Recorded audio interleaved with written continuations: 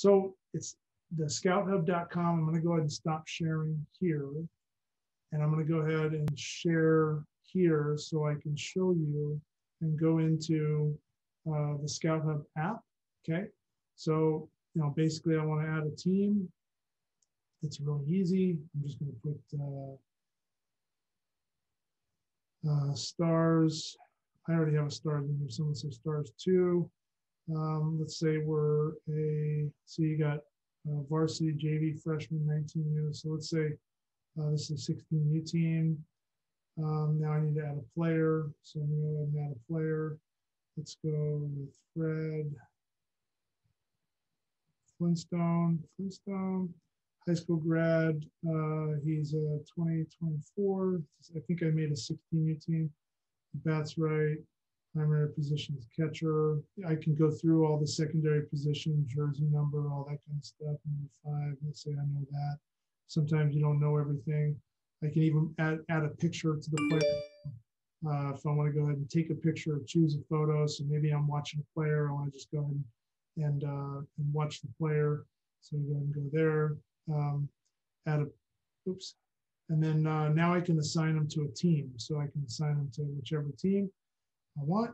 So now there's Fred Flintstone. So basically to scout them really quick, I just go ahead and swipe from left to right and now I'm scouting Fred Flintstone. Now I'm on the gold version, so basically it, it uh, you know for hitability, approach, power production, defense, arm, speed, can play? So as you watch me go ahead and scout, let's say that I'm watching him and bat speed, timing is average. Uh, triggered it. Well, let's say I don't have those uh, triggered impact distance and zone. You can add those later. But as you noticed, the hit ability was a 5.28. Now I'm going to go to approach, plate discipline, pitch recognition. Let's say it was uh, average, below average plus, and the hit aggressiveness. You know, I would have liked to have seen him be a little more aggressive. Now he's a four. Now you saw that calculated roll up top. Go ahead and change, and it's so it goes all the way around. So when I'm done with this player, I can hit save. Okay, and now if I want to go into this player's page and go ahead and view what I've already put down for him, I can go in here, okay? If I want to edit, I just go ahead and edit the scout card, and then maybe I start to add in some numbers, okay?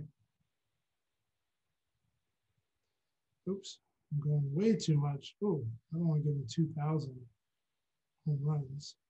Okay, so I'm gonna go ahead and save. I'm gonna go ahead and go back. Now, I can quick scout. Uh, that's the feature I was talking about. Um, and then I can run reports. So let's say that position, uh, let's say position players, you know, any bat handedness positions.